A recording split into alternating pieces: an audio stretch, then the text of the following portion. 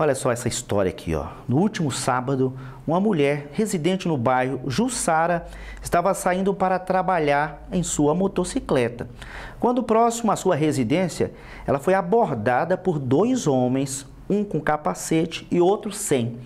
O que estava sem o capacete se jogou de, de frente à moto, né, da motocicleta, com uma arma em punho provavelmente uma pistola, segundo a ocorrência, e apontou para a vítima e exigiu que ela entregasse a motocicleta, uma CBX Estrada de cor azul, placa HTW0527.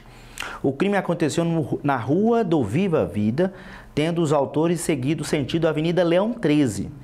A vítima estava com o celular, porém apenas a moto e o capacete de cor preta foram levados. Esse fato aconteceu no sábado. E de sábado até hoje, a polícia vem fazendo rastreamento, porém até agora a moto não foi localizada. Quem tiver informações desta motocicleta, motocicleta ligar no 190.